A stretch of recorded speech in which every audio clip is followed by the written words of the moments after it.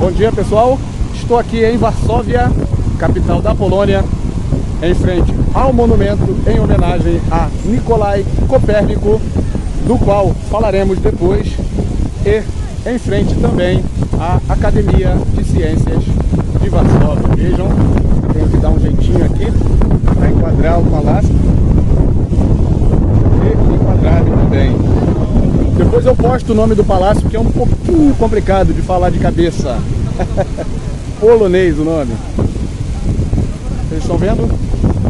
Vem comigo, continue aí. Vamos entender o que é este palácio e conhecer a sua história. Direto de Varsóvia, capital da Polônia.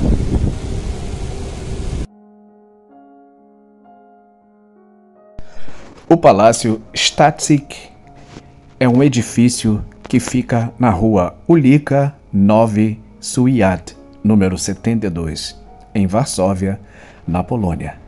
Ele é a sede da Academia de Ciências da Polônia.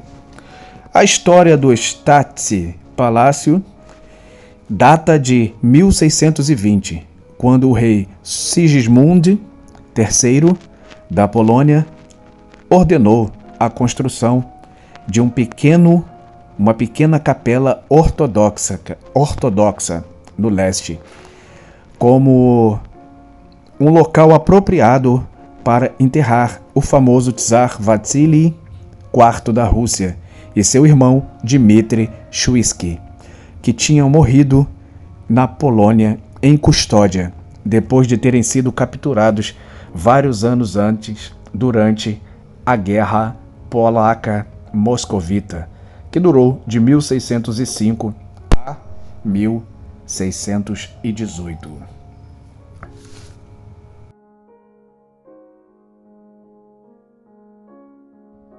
Como a população da capital polonesa, Varsóvia, era em grande parte católica, protestante ou judia, houve um pequeno clamor por uma capela ortodoxa. Or, ortodoxa. E em 1668, um outro rei polonês chamado John II Casimiro, ou seja, João II Casimiro, transferiu a capela para a ordem dominicana, que foi encarregada de cuidar dela até 1808. Em 1818, o edifício foi adquirido por Stanisław Stadzik, uma figura importantíssima do iluminismo polonês que encomendou a sua renovação.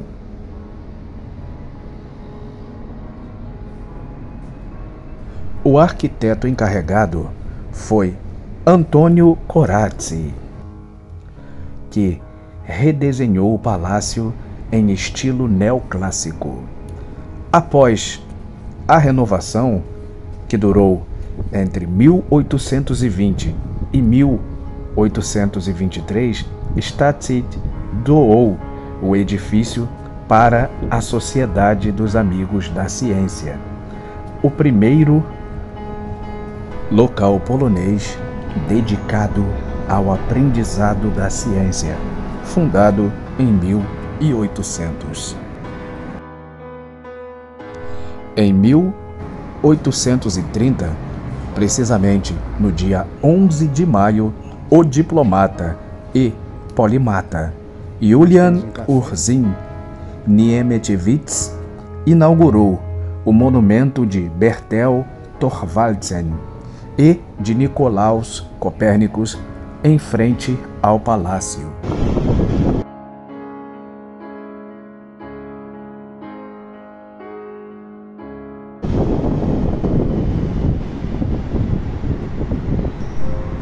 Após a revolta de novembro de 1830, contra a ocupação do Império Russo, a sociedade foi banida pelos russos, ou melhor, pelas autoridades russas. Eles tinham controlado grande parte de Varsóvia, grande parte do tempo, desde o final da partição da Polônia em 1795.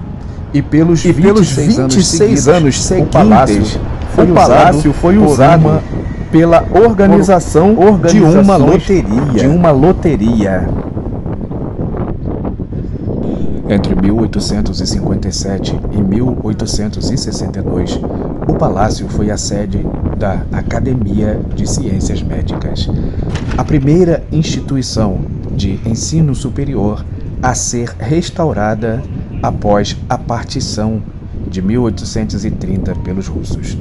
Mas a academia foi fechada logo em seguinte, logo em seguida, após uma fracassada insurreição de 4 de janeiro de 1863. Conhecida como Revolta de Janeiro. Após a Polônia recuperar a sua independência em 1918, em 1924 e 26, o palácio foi trazido de volta para o estilo neoclássico pelo arquiteto Marian Lalevitz, em estilo similar ao original. O palácio foi danificado durante o Cerco de Varsóvia de 1939 e quase arrasado durante a Revolta de Varsóvia de 1944. Após a guerra, foi reconstruído entre 1946 e 1950. Hoje é a sede da Academia de Ciências da Polônia. Espero que vocês tenham gostado do nosso vídeo sobre o Palácio de Statzit.